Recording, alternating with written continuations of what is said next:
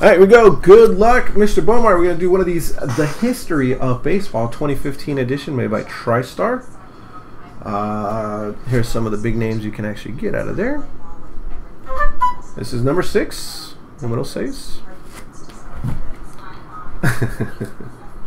Good luck.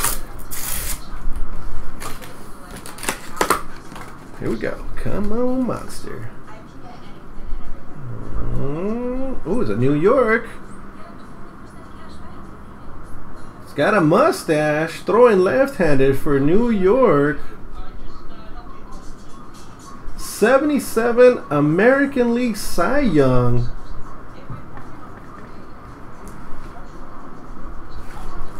Describe 77 Sparky Lyle. so Sparky Lyle.